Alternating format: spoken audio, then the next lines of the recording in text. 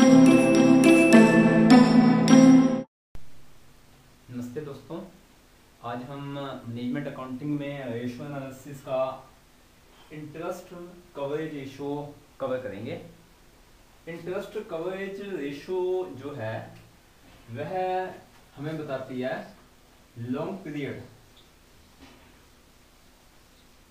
period solvency solvency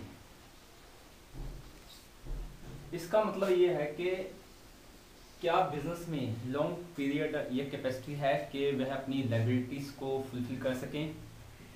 तो उसमें एक रेशो है इंटरेस्ट कवरेज रेशो यह रेशो में ये बताती है कि क्या हमारे प्रॉफिट में इतनी ताकत है कि वो जितना भी इंटरेस्ट है उसको पे कर सकेगा?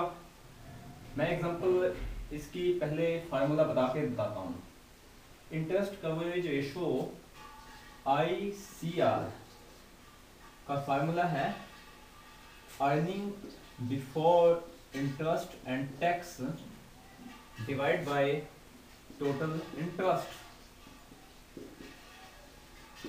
अर्थात इंटरेस्ट और टैक्स लगाने से पहले जो प्रॉफिट है, उसको भाग किया जाए टोटल इंटरेस्ट से तो हम इंटरेस्ट कवरेज रेशियो निकाल सकते हैं। मान लीजिए कि आपके पास लाभ है जो नेट प्रॉफिट है, वह आफ्टर टैक्स दस हज़ार है। तो आपका इंटरेस्ट है दस हज़ार। तो इंटरेस्ट कवरेज रेशियो होगी दस हज़ार मान लीजिए जो टैक्स है वह फिफ्टी परसेंट टैक्स है। टैक्स इट मीन्स इसका फिफ्टी परसेंट हमने काट लिया, यानी दस हज़ार ऐड कर देंगे टैक्स का। और दस हज़ार जो है आपका इंटरेस्ट है।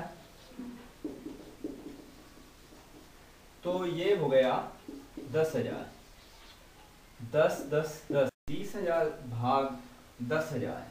तो ये थ्री टाइम्स आ जाएगा। इसका मतलब ये है कि हमारे नेट प्रॉफिट में इतनी ताकत है कि ऐसे तीन गुना हम इंटरेस्ट पे कर सकते हैं। यानी एक से हमने लोन लिया, उसका दस हज़ार पेमेंट किया, दूसरे से लोन लिया, उसका दस हज़ार पेमेंट किया, एक अन्य व्यक्ति से लोन लिया, उसका दस हज़ार हमने इंटरेस्ट पे किया। हमारी भी इतनी कैपेसिटी है।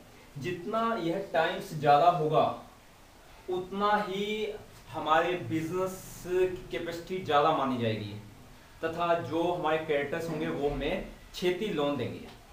मान लीजिए कि हमारा net profit after after tax बीस हज़ार है। तो यहाँ पे बीस हज़ार हो गया। तो इंटरेस्ट है दस हज़ार, बीस हज़ार बीस हज़ार, दस हज़ार, पचास हज़ार हो गया। तो ये आ गया पचास हज़ार। दस हज़ार से भाग कर दिया इसको। ये हमारा आ गया पाँच टाइम्स फाइव टाइम्स यानी अब हमारी कैपेसिटी बढ़ गई। हम पाँच गुना ज़्यादा ब्याज अदा कर सकते हैं, जो हमारे नेट प्रॉफिट में कैपेसिटी है। ऐसे जितना हमारा टाइम्स ज़्यादा होगा जितना हमारा नेट प्रॉफिट ज़्यादा होगा आफ्टर टैक्स उतना ही हमारा net profit before tax and before interest ज़्यादा होगा, उससे हमारी कैपेसिटी ज़्यादा होगी। तो जितने भी क्रेडिटर्स हैं लॉन्ग पीरियड क्रेडिटर हैं, वो लोन देने से पहले ये चीज़ सोचेंगे। ओके धन्यवाद।